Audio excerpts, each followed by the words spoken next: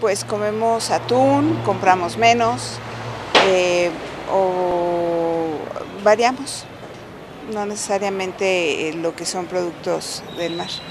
Mira, en toda la cuaresma no, no consumo carne roja, pura lentejitas, camarones, este, caldito de haba, eh, o sea, lo que es de cuaresma, no palitos.